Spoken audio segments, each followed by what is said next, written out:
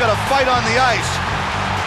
This is going to be Brashear and McGrattan. The two guys you would expect to be going are the ones that are starting this off.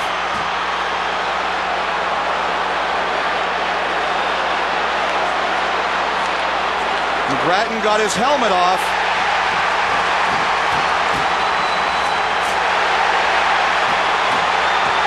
Wow, those are two big boys swinging.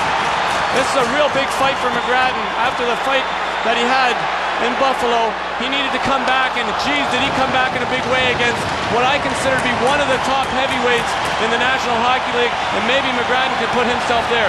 I am surprised that Donald Brashear would do this because the team that stands to have the most to gain from an emotion point of view here would be McGrattan. I think he was pointing at the bench and Denis Gauthier.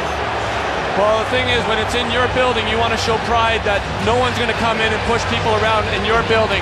And as you, McGrattan and Brashear right off the bat had a little chit chat, and it was going to happen. But Brashear wants to defend his home rink.